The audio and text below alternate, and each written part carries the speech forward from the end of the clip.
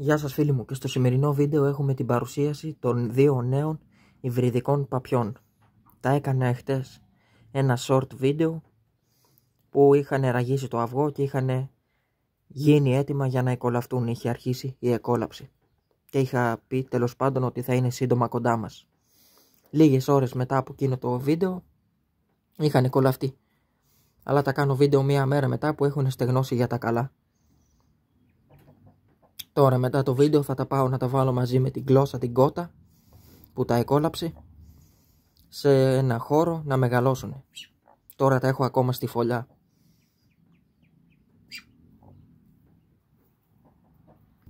Τα παπιά μία μέρα μετά την εκόλαψή τους δεν μπορούν να φάνε. Μετά αρχίζουν να κουνιούνται πιο πολύ και να περπατάνε και γενικά να είναι έτοιμα να φύγουν από τη φωλιά. Οπότε τώρα αυτά πρακτικώς είναι έτοιμα να φύγουν από τη φωλιά. Λοιπόν, ας πούμε τώρα πώς εκολάφτηκαν αυτά. Δίπλα από αυτή την κότα κλωσάει η λευκιά πάπια μόσχας, η πίτσα που έχω, η πρώτη μου πάπια που την έχω 8 χρόνια και η αγαπημένη μου πάπια. Είχε μαζέψει αυτή καμιά δεκαριά αυγά και κλωσούσε εδώ. Μέσα στην καλύφα από τις κατσίκες βρίσκονται αυτές οι κλώσεις. Και έχω βάλει και φλάς στο κινητό για να έχει καλύτερη φωτεινότητα, γιατί μέσα στην καλύβα αυτή είναι σκοτεινά. Λοιπόν, είχε κλωσίσει αυτή η πάπια, αλλά δεν την είχαμε κάποιον αρσενικό. Δεν ξέρω πώς κατάφερε και ζευγάρωσε μάλλον με τον πρασινοκέφαλο και από τα 10 αυγά μόνο δύο ήταν γόνιμα. Γιατί αν ζευγαρώνουνε πρασινοκέφαλες πάπιες με μόσχας δεν έχουν καλά ποσοστά γονιμότητας λόγω υβριδικότητας. Οπότε μόνο δύο ήταν γόνιμα και είχε κλωσίσει και αυτή εδώ η κότα, δίπλα σε αυτή τη φωλιά και της τα έβαλα σε αυτήν να τα εκολάψει και τα εκόλαψε. Δεν τα άφησα λοιπόν στην πάπια, γιατί στην πάπια έβαλα άλλα αυγά που θα τα δούμε όταν εκολαυτούν. Θέλουν ακόμα λίγες μέρες.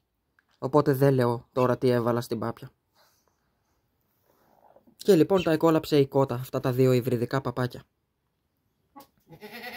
Τώρα μπήκανε κάτω από την κότα θα τα βγάλω έξω να τα δείτε. Να τα λοιπόν, πανέμορφα είναι και πολύ χαριτωμένα. Αυτό εκολάφτηκε πρώτο. Το ξεχωρίζω γιατί έχει μαύρο ράμφος και είναι γενικά λίγο πιο σκούρο. Ενώ αυτό έχει ροζ ράμφος και είναι πιο ασπρόμαυρο, θα γίνει. Πολύ ωραία παπάκια. Έχω δύο χρόνια να ξαναβγάλω υβρίδια από αυτή την πάπια μόσχας. Και έχω άλλον έναν αρσενικό υβρίδιο από αυτή την πάπια που θα πάει τριών ετών το καλοκαίρι. Δυστυχώς είχα χάσει πολλά τέτοια ευρύδια στο βουνό. Αλλά τώρα έχω σκοπό να τα προσέχω τα υβρίδια καλύτερα και να έχω ένα καλό αριθμό γιατί είναι special κατηγορία παπιών τα υβρίδια. Οπότε αφού είναι special κατηγορία τα υβρίδια θα τα προσέχω καλύτερα να έχω ένα καλό αριθμό. Έχω βγάλει κι άλλο ένα μαύρο που είναι από τη μαύρη πάπια μόσχας και τον πρασινοκέφαλο πάπιο. Οπότε τώρα έχω τρία μουρά υβρίδια και έναν ενήλικο πάπιο τέσσερα. Και θα συνεχίσω εννοείται. Αν και φέτος δεν νομίζω κάτι άλλο, αλλά του χρόνου σίγουρα. Οπότε αυτό πάνω κάτω, δύο νέα υβριδικά παπάκια, χαριτωμένα και πανέμορφα. Θα τα μεγαλώσει αυτή εδώ η κότα. Είναι η μαύρη της αλυπούς, έτσι τη λέω. Είχα πει σε ένα βίντεο ότι τη λέω έτσι, διότι όταν ήταν μικρή είχε φάει αλεπού τη μάνα της που κλωσούσε και είχε μείνει αυτή μέσα στα αυγό. Μαζί με εκείνη την κότα, την καφέ, που τη λέω καφέ της αλεπούς. Να εδώ δείτε χάμος από κλώσεις γίνεται. Τώρα τι αυγά έχουν δεν λέω. Θα τα δείχνω από εδώ και πέρα όταν εκολάπτονται τα μικρά. Είναι καλύτερα για έκπληξη. Οπότε αυτά πρακτικώς είναι τα δύο νέα special υβριδικά παπάκια στη συλλογή. Ένα που είναι πιο σκούρο φαινομενικά και το άλλο είναι πιο ασπρόμαυρο.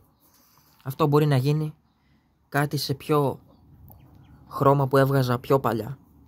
Ενώ το άλλο μπορεί να γίνει το κλασικό σαν αυτό το πάπιο τον ενήλικο που έχω. Θα φανεί. Αυτά λοιπόν, αντίο.